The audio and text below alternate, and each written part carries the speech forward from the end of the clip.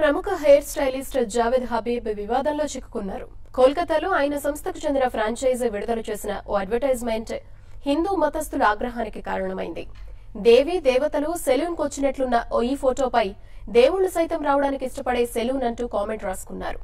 ఈ యాడ్ పై నెటిజన్లు మండిపడుతున్నారు. జావేద్ పైనే నేరుగా విమర్శలు గుప్పించారు.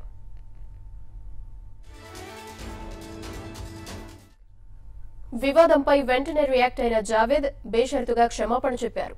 తప్ప ఎవరు చేసినా తప్పేనని తన ఫ్రాంచైజీ చేశారు కాబట్టి అందులో తనకు కూడా బాధ్యత ఉంటుందని జావేద్ అన్నారు.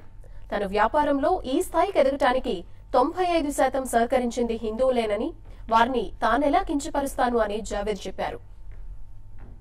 Number one, it's being done but not by us directly. Uh, it's being done by, one of our master franchise in Calcutta.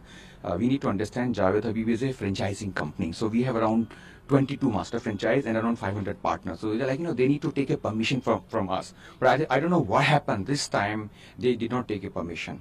But whatever you say, he's my partner.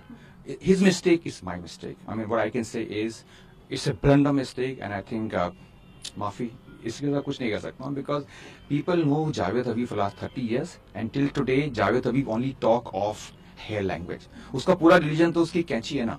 उसने तो कभी बात ही नहीं की। See today we have 700 salons I have around 5000 people 95 percent तो हिंदू है।